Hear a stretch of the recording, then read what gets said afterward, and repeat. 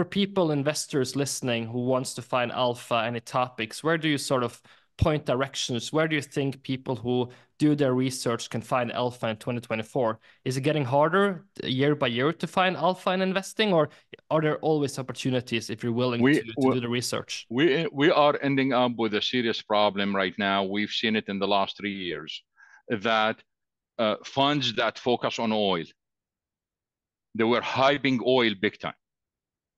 And that's really, I mean, th this is a big, a big problem and if we don't stop them, people are going to be burned. And a lot of people got burned because of them. Okay. So the idea here is do not follow those funds because they are promoting their own funds. Okay.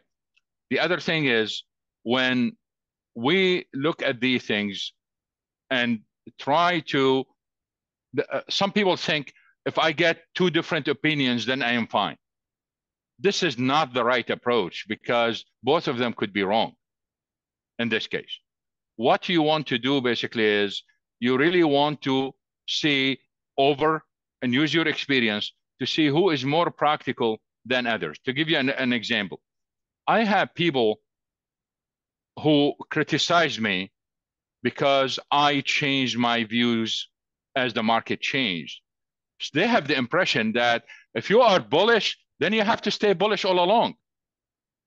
Those guys should not be in the market. They should not think about investing.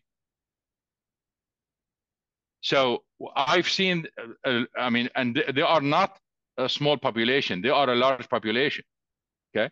They should realize that things could change on daily basis, on hourly basis, and they should be really flexible and this is probably the best advice I can give them right now is they should be prepared to be super flexible as the numbers changed.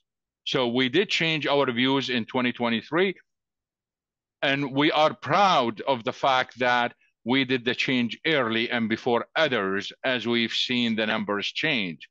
And if they want to benefit from it, probably they should be as flexible.